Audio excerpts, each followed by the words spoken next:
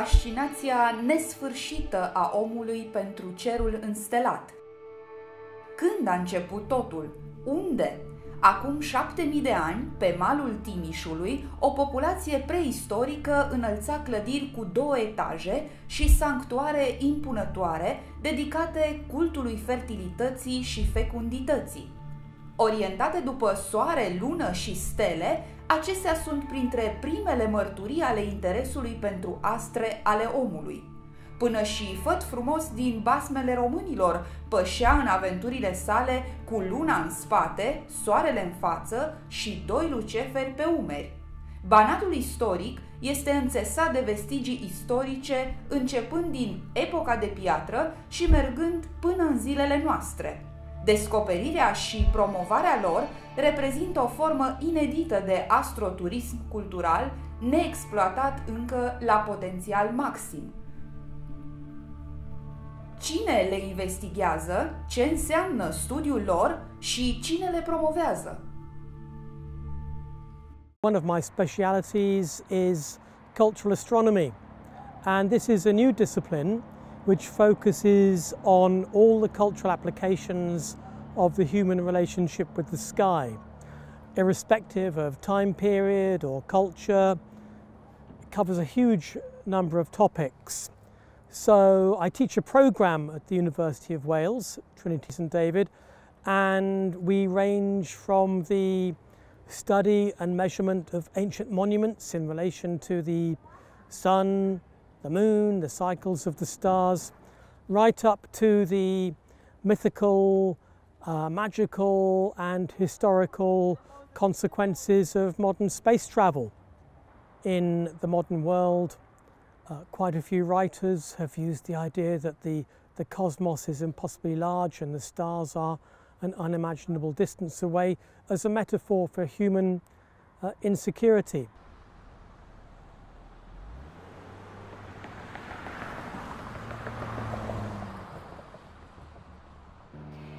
A régészeti leletek tanúsága szerint, amelyeket a Kárpát-medencében találhatunk, már az őskorban is érdeklődtek az emberek az égi jelenségek iránt. Erre két példát szeretnék mondani. Az egyik egy késő neolit példa, amely a késő neolit körarakú álkokról, rondelekről szól. Ezeknek a legjellemzőbb vonása az, hogy szimmetrikusan elrendezett úgynevezett kapuk, bejáratok törik meg a kör alakú körárkoknak a vonalát, és ezeknek a szimmetrikus elrendezésű kapuknak az értelmezésében úgy gondolják a régészek és az archeoasztronómerek, hogy itt a csillagászat is valamilyen szerepet játszott.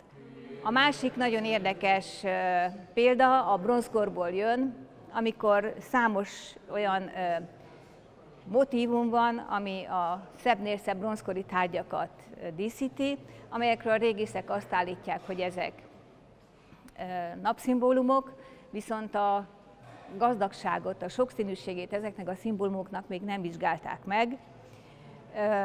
Összehasonlítva ezeknek a szimbólumoknak a szerkezetét, a struktúráját, a légköri jelenségek struktúrájával, azt találjuk, hogy nagyon érdekes hasonlóságot találunk a kettő között, és szinte minden egyes légköri jelenségnek megtaláljuk a, megtaláljuk a párját a, a bronzkori díszítő motivumok között, tehát megtaláljuk a koncentrikus köröket, a halókat, megtaláljuk a három napot az égen, megtaláljuk a hatalmas kereszt alakú halókat, szintén a bronzkori díszítő motivumok között.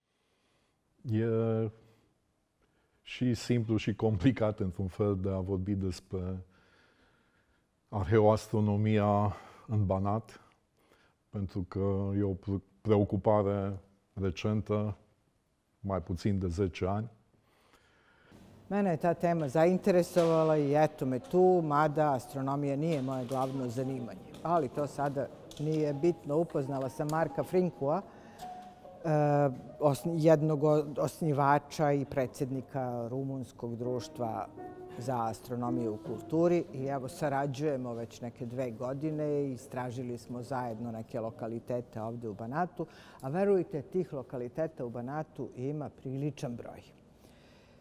E, ono što mi znamo od tih lokaliteta, to je sigurno jedno pet, šest mesta odakle su baš stari narodi posmatrali nebo i mi sad istražujemo šta su oni odatle videli i kako su mogli da shvate to što na nebu vide. Da li su ta znanja bila ugrađena u njihovo shvatanje sveta ili u njihovu religiju, to tek treba da se vidi. Mi naravno radimo to što nas interesuje, sarađujemo sa arheolozima, astronomima, geodetama, istoričarima umetnosti, onima koji poznaju simbole, mitolozima. Sve u svemu, astronomija u kulturi je jedna interdisciplinarna nauka koja uključuje u sebe mnogo različitih nauka i malte ne mnogo različitih nauka može tu da da svoj doprinos. Începând din preistorie, omul a fost uh, deosebit de pasionat de astre. S-a uitat uh, pe cer, a studiat mișcarea astrelor și a creat calendare, practici religioase și uh, a asimilat cunoștințele despre cer în societatea în care trăia. În uh, zona Banatului, o regiune formată uh, actualmente pe teritoriul uh, a trei țări, România, Serbia și uh, Ungaria, regăsim câteva dintre cele mai vechi uh, obiective arheoastronomice uh, de pe planeta Pământ. Acestea încep undeva în uh, perioada neolitică și continuă în epoca bronzului, în perioada antichității, apoi în evul mediu și în prezent regăsim numeroase astfel de dovezi în ornamentica clădirilor, în folclorul popoarelor care trăiesc aici. Acestea demonstrând un interes continuu asupra cerului, un interes care s-a transpus asupra modului în care oamenii conviețuiesc aici. Uh, it's just so wonderful to think that every country now has its own uh, cultural ast astronomy society and uh, conferences. În uh, teritoriul acestor trei uh, țări, România, uh, Serbia și Ungaria, și îndeosebi în această regiune istorică a Banatului, există o serie de asociații astronomice care studiază impactul astronomiei asupra culturii uh, umane, atât uh, la nivel uh, de scrieri, cât și la nivel uh, de uh, monumente și de uh, povestiri. Avem Asociația Vlasici, Pleiadele, în Serbia, condusă de Alexandra Bajici. Avem uh, Societatea Română pentru Astronomie Culturală, condusă de uh, subsemnatul, iar în Ungaria o regăsim pe Emilia Pastor, uh, care desfășoară cercetări în câmpia Panoniei. În ultimul uh, deceniu, aceste eforturi uh, ale celor trei uh, entități s-au unit Uh, astfel încât uh, să ofere o imagine de ansamblu asupra uh, astronomiei, pentru că este foarte important să privim astronomia nu doar din prisma celor regăsite în România sau în Serbia sau în Ungaria, pentru că deseori aceste situri și tradiții se regăsesc pe teritoriul mai multor țări, iar regiunea Banatului este deosebit de importantă din acest punct de vedere.